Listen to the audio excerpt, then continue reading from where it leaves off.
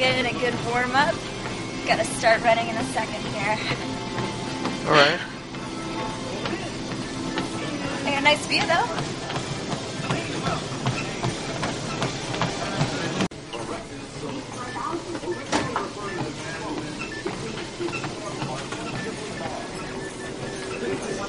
It's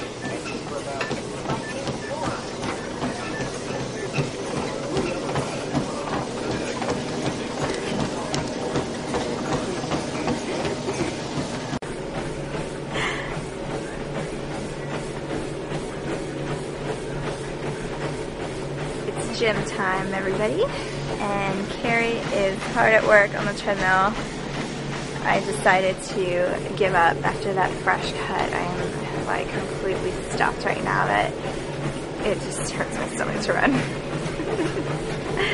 so I know my trainer would not be very impressed with me right now, but I just think I should be honest.